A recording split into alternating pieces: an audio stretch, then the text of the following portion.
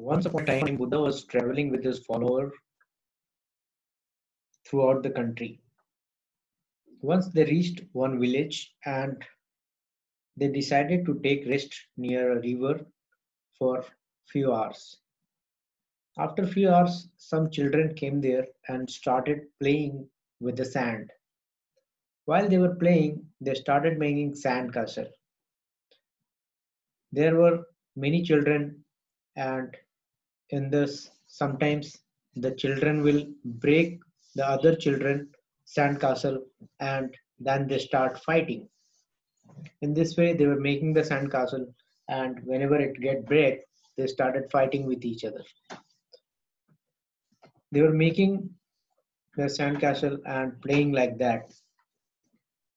Few hours passed and by evening one woman came and said that to all the children to go home because it's evening now and go back to home because they can't play after evening.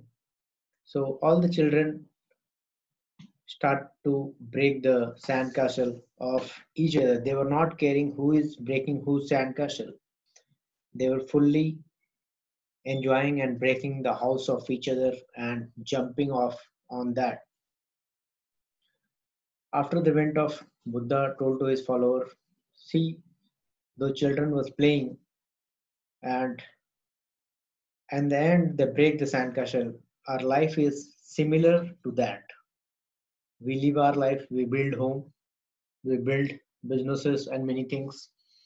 And in the end, we break it and go back our home. So we should learn from this incident that we should remember that one day we have to go back no matter what we do all this has to break down one day and we have to return back to home. So this is a beautiful example.